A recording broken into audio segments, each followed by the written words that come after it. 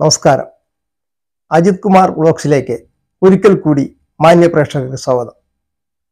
ഞാനിന്ന് അവതരിപ്പിക്കുന്നത് മലയാളത്തിന്റെ ഇതിഹാസ നായകൻ നിത്യഹരിത നായകൻ ശ്രീ പ്രേമനസറിനെ കുറിച്ചാണ്.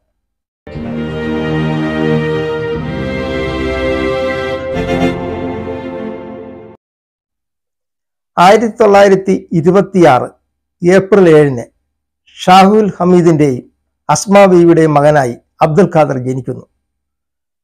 പ്രാഥമിക വിദ്യാഭ്യാസം നടത്തുന്നത് ചിറയൻകീഴ് സ്കൂളിലാണ് എൽ പി സ്കൂളിൽ. അതിനുശേഷം അവിടുത്തെ യു പി സ്കൂളിൽ പഠിച്ചു.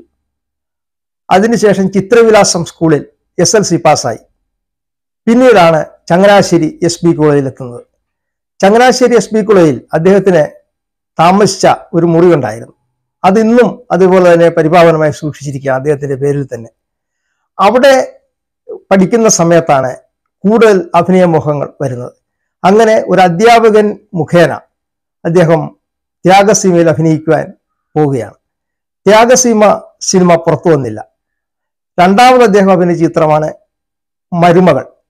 പക്ഷേ മരുമകൾ സാമ്പത്തികമായി വളരെ പരാജയപ്പെട്ടു. അപ്പോൾ ഇദ്ദേഹം ആകെ ദുഃഖിതനായി. അന്ന് ഇദ്ദേഹത്തിന് ഇരുപത്തിമൂന്ന് വയസ്സാണ് പ്രായം. നേരെ തിക്കുറിശിയെ പോയി കാണുകയാണ്. തിക്കുറിശി വിശപ്പിന്റെ വിളി ഇതിൽ അഭിനയിക്കുന്ന കാലഘട്ടം. ചെന്നപ്പോഴേ തന്നെ തിക്കുറിശി ഇദ്ദേഹത്തെ അടിമുടി ഒന്ന് നോക്കി. നന്നെ മെലിഞ്ഞ ഒരു യുവാവ് സുന്ദരനായ ഒരു യുവാവ്. അപ്പോൾ തിക്കുറിശിക്ക് തോന്നി ഇയാൾ ഈ സിനി- സിനിമാ രംഗത്ത് ശോഭിക്കുക തന്നെ ചെയ്യും. പക്ഷേ തിക്കുറിശി ഒരു നിബന്ധന വെച്ചു. നിങ്ങളുടെ ഈ പേര് വെച്ചുകൊണ്ട് സിനിമയിൽ നിങ്ങൾ വിജയിക്കാൻ പോകുന്നില്ല. അതുകൊണ്ട് നിങ്ങളുടെ പേര് ഞാൻ മാറ്റുകയാണ്. പ്രേം നസീർ എന്നുള്ള പേര് താങ്കൾ സ്വീകരിക്കണം.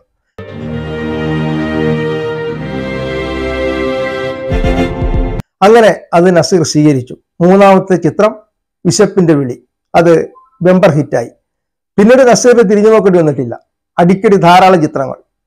നൂറ്റിപ്പത്തോളം തമിഴ് ചിത്രങ്ങൾ തന്നെ അഭിനയിച്ചു. ഒരു നായികയോടൊത്ത് ഏറ്റവും കൂടുതൽ ചിത്ര അഭിനയിച്ച നടനും പ്രേം തന്നെയാണ്. എൺപത്തിയെട്ട് നായികമാരാണ് അദ്ദേഹത്തോടൊപ്പം പ്രേമരംഗങ്ങളിൽ അഭിനയിച്ചിട്ടുള്ളത്. അവരെല്ലാം ഒന്ന് രണ്ട് ചിത്രങ്ങൾ കൊണ്ട് ചില നടിമാരെല്ലാം പുറകോട്ട് പോയി. നെയ്യാറ്റിൻകര കോമളമായിരുന്നു ആദ്യം അദ്ദേഹത്തിന് കൂടെ അഭിനയിച്ചിരുന്നത്. ഷീല എന്ന നടിയോടൊപ്പം നൂറ്റി അമ്പതോളം ചിത്രങ്ങളിൽ അഭിനയിച്ചു. എഴുന്നൂറ്റി ഇരുപത് ചിത്രങ്ങളിൽ നായകനായി തന്നെ അഭിനയിച്ചു. ഗിന്നസ് ബുക്കിൽ ഇടം നേടി.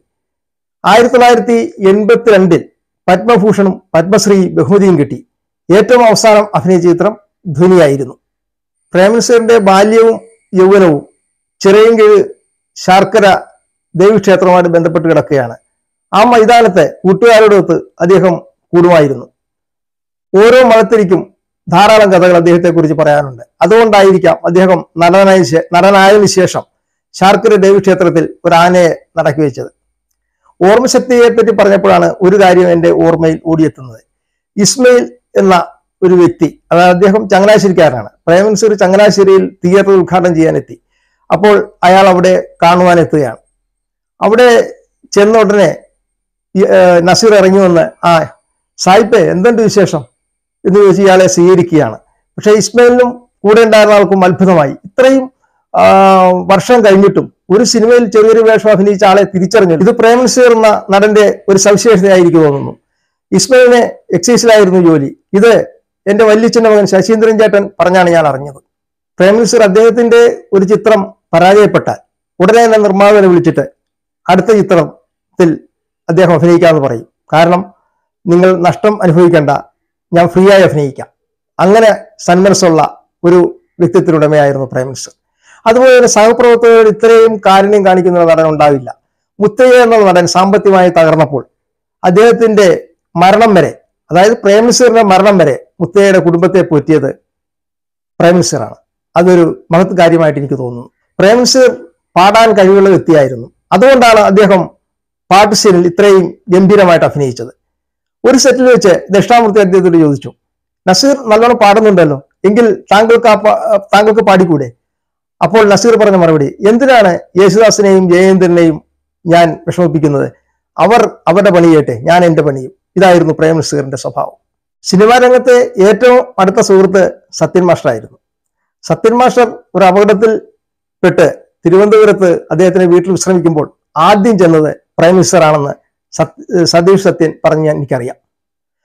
ഇദ്ദേഹം സത്യനോട് ചോദിച്ചിട്ടാണ് ഓരോ കഥാപാത്രങ്ങൾ എടുക്കുന്നത്. അവർ തമ്മിൽ പരസ്പരം കഥാപാത്രങ്ങൾ മാറിയിട്ടുണ്ട്. അങ്ങനെ മാറിയെടുത്ത ഒരു ചിത്രമാണ് അടിമയിലെ പൊട്ടൻ രാഘവൻ. അടിമയിലെ പൊട്ടൻ രാഘവനായിട്ട് ആദ്യം ഉദ്ദേശിച്ചത് സത്യനായിരുന്നു. സത്യൻ തന്നെയാണ് പറഞ്ഞത്. താൻ ഈ ഭാഗം അഭിനയിക്കും. ഗംഭീരമാവും. പക്ഷെ അത് ഗംഭീരമായി. അതുപോലെ എത്രയോ നല്ല ചിത്രങ്ങൾ പ്രേം മിസ്റ്റർ അഭിനയിച്ചിട്ടുണ്ട്. ഇരുട്ടിന്റെ ആത്മാവിലെ ഭ്രാന്തൻ മേലായത് അച്ചാണിയിലെ തയ്യൽക്കാരൻ വാസു ചുമടുതാങ്ങിയിലെ ജ്യേഷ്ഠ കഥാപാത്രം. അങ്ങനെ ഒട്ടനവധി നല്ല കഥാപാത്രങ്ങളും പ്രേമൻസേറിന്റായി പുറത്തു വന്നിട്ടുണ്ട്. പലരും പ്രേമൻസേറിനെ പറ്റി പറയുമ്പോൾ മരഞ്ചുറ്റിയോട്ടമാണ് പ്രേമമാണെന്നൊക്കെ പറയും. പക്ഷെ അല്ല നല്ല കഥാപാത്രങ്ങളും ഒട്ടനവധി അദ്ദേഹം ചെയ്തിട്ടുണ്ട്. ചാരം എന്ന ചിത്രത്തിലെ കഥാപാത്രം നമ്മൾ മറക്കുമോ? രണ്ട് നെഗറ്റീവ് കഥാപാത്രങ്ങളാണ് പ്രേമൻസർ ചെയ്തിട്ടുള്ളൂ. ഒന്ന് അഴകുള്ള സിനിമയിലെ വില്ലൻ കഥാപാത്രം. പിന്നെ നിഴലാട്ടം സത്യൻ എടുക്കാത്തൊരു വേഷം. ഏതെങ്കിലും ഡയറക്ടറുമായിട്ട് അഭിപ്രായ വ്യത്യാസം ഉണ്ടായി എടുക്കാത്തൊരു വേഷം പ്രേമൻസീർ സ്വീകരിക്കാറില്ല. മറിച്ച് പ്രേമൻസീർ എടുക്കാത്തൊരു വേഷം സത്യനും സ്വീകരിക്കാറില്ല. അത്രയ്ക്ക് ആത്മബന്ധമായിരുന്നു അവർ തമ്മിൽ. ഒരിക്കൽ കെ പി ഉമ്മർ പറഞ്ഞു എനിക്ക് ഒരു മണിക്ക് ഊണ് കഴിക്കണം. ഷൂട്ടിംഗ് നടന്നുകൊണ്ടിരിക്കുകയാണ്. അപ്പോൾ നസീർ പറഞ്ഞാൽ അവർ നിർത്തും. നസീർ സമ്മതിച്ചു. പക്ഷേ മൂന്ന് മണിയായിട്ടാണ് ഷൂട്ടിംഗ് നിർത്തിയത്. നസീർ ആരെയും ബുദ്ധിമുട്ടിക്കാൻ തയ്യാറല്ല. ഡയറക്ടർ കട്ട് പറയുന്നവരെ അദ്ദേഹം അഭിനയിച്ചുകൊണ്ടേയിരിക്കും. അങ്ങനെ കലയിൽ അർപ്പിതമായ ഒരു ജീവിതമായിരുന്നു പ്രേമൻ നസീറിന് സത്യൻ നസീർ കാലഘട്ടം കഴിഞ്ഞു. രണ്ടാം തലമുറ കടന്നു വന്നു. വിൻസെന്റ് രാഘവൻ സുധീർ. അന്ന് അന്നും പ്രേം നസീർ തന്റെ താരാധിപത്യത്തിൽ ഉറച്ചു നിന്നു. അതിനുശേഷമാണ് സോമൻ ജയൻ സുകുമാരൻ കടന്നു വന്നു. പിന്നീട് മമ്മൂട്ടി മോഹൻലാൽ കടന്നു വന്നു. അപ്പോഴും മരണം വരെ പ്രേം നസീർ തന്റെ താരസിംഹാസനത്തിൽ ഉറച്ചു നിന്നു. ചട്ടമ്പി കല്യാണി എന്ന സിനിമയിലെ ഷൂട്ടിംഗ് നടക്കുന്നു. അതിൽ ജഗതി ശ്രീകുമാർ ചെറിയൊരു വേഷത്തിൽ അഭിനയിക്കുന്നുണ്ട്. പക്ഷേ പിറ്റേ ദിവസം പ്രേമനസീറിന് വേറൊരു സ്ഥലത്ത് പോകണം. ജഗതിയുടെ അഭിനയം ശരിയാകുന്നില്ല. ജഗതിയെ മാറ്റി നിർത്തിയിട്ട് വേറെ ആരെങ്കിലും വിളിക്കുവാൻ പറഞ്ഞു. പക്ഷേ പ്രേമനസീർ പറഞ്ഞു അദ്ദേഹത്തെ വിരട്ടാതെ അദ്ദേഹം ശരിക്കും അഭിനയിക്കും. നല്ല ഭാവിയുള്ള ഒരു നടനാണ്. അങ്ങനെ പറഞ്ഞ് അദ്ദേഹം പോക്ക് മാറ്റിവെച്ച് അഭിനയിച്ച ചിത്രമാണ് ചട്ടമ്പി കല്യാണി. ജഗതിയുടെ ഓർമ്മക്കുറിപ്പിൽ പറയുന്നു പ്രേമനസീർ എന്ന് പറഞ്ഞില്ലായിരുന്നെങ്കിൽ ഞാൻ ഇന്ന് സിനിമാ രംഗത്ത് ഉണ്ടാകുമായിരുന്നില്ലാണ് ഇദ്ദേഹത്തിന് കിട്ടിയ പ്രതിഫലത്തിൽ മുക്കാൽ പങ്കും ഇദ്ദേഹം ദാനം ചെയ്യുകയായിരുന്നു. അദ്ദേഹത്തോട് സഹായം അഭ്യർത്ഥിച്ച ആരെയും പ്രേംനസീർ നിരാശനാക്കിയിട്ടില്ല. അതുപോലെ തന്നെ സിനിമാമോഹമായി ചെല്ലുന്ന വ്യക്തികളെയും അദ്ദേഹം നിരാശരാക്കാതെ തിരിച്ചയക്കുക പതിവാണ്. കാരണം അഭിനയിക്കാൻ അവസരം കിട്ടിയില്ലെങ്കിലും അവർക്ക് പോകാനുള്ള പണം ഇദ്ദേഹം നൽകുമായിരുന്നു. ആലപ്പുഴ എസ് ടി കോളേജിൽ ഒരു മിമിക്രി നടക്കുകയാണ്. മിമിക്രി നടത്തുന്നത് ആലപ്പി അഷ്റഫാണ് മിനിസ്റ്റർ അത് കണ്ടുകൊണ്ടിരിക്കുകയാണ്. അപ്പോൾ പ്രേമനസീറിനെ അതേപോലെ അഷ്റഫ് അനുകരിക്കുകയാണ്. ആ അനുകരണം കണ്ട് നസീർ പൊട്ടിച്ചിരിച്ചു. അദ്ദേഹം വേദിയിൽ ചെന്ന് ഇദ്ദേഹത്തെ ഒരു പൊന്നാട കൊടുത്ത് ആദരിക്കുകയാണ്. ഇങ്ങനെ വേണം മിമിക്രി അവതരിപ്പിക്കാൻ. എത്ര കറക്റ്റായിട്ട് താങ്കൾ എന്നെ അനുകരിച്ചു. എനിക്ക് അങ്ങേറ്റത്തെ സന്തോഷമുണ്ട്. ആ സ്നേഹബന്ധം അവർ മരണം വരെ തുടർന്നിരുന്നു. അദ്ദേഹത്തിന്റെ ഒരു ചിത്രത്തിൽ പ്രേംസർ നായകനായി അഭിനയിക്കുകയുണ്ടായി. ഒരു മാടപ്രാവിന്റെ കഥയിൽ. ചീനവലയുടെ ഷൂട്ടിംഗ് വൈക്കം ഒറ്റപ്പനയിൽ നടക്കുന്നു. അത് കാണുവാൻ ഞാനും മൂന്നാൽ സുഹൃത്തും കൂടി പോവുകയാണ്. അവിടെ ചെന്നപ്പോൾ ഭയങ്കര തിരക്ക്. ഒരു പാട്ട് സീനാണ് ജയഭാരതിയുമൊത്ത് ഇദ്ദേഹം അഭിനയിക്കാൻ തയ്യാറായി നിൽക്കുന്ന സമയമാണ്. ആ തിരക്കിനിടയിലും അദ്ദേഹം ഞങ്ങളോട് സംസാരിക്കുവാൻ സമയം കണ്ടെത്തി. ആ വലിയൊരു മനസ്സ് സാധാരണ ആർക്കും കാണാറില്ല. അതാണ് ഞാൻ പറയുന്നത്. അദ്ദേഹം വലിയൊരു മനുഷ്യസ്നേഹം കൂടിയാണെന്ന്. അത് ഇന്നും നസീറിനെ കുറിച്ച് ഓർക്കുമ്പോൾ എന്റെ മനസ്സിലൂടെ കടന്നു പോകും. പ്രേംനസീറിന് നാല് മക്കളാണുള്ളത്.